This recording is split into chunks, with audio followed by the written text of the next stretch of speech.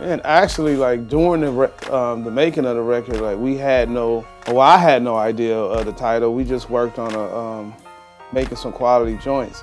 Actually, in the mixing session, um, when, when, I met the CEO, um, he told me the title that day. So um, it was God and Guns, and I'm thinking like, man, that's a real interesting uh, title. The title of my album is God and Guns, and it's deep um, in the sense of where I come from, how I was raised, what I was brought up seeing, what I was brought up being a part of. God and Guns is uh, it's what we all had in urban, any urban areas coming up in any ghettos.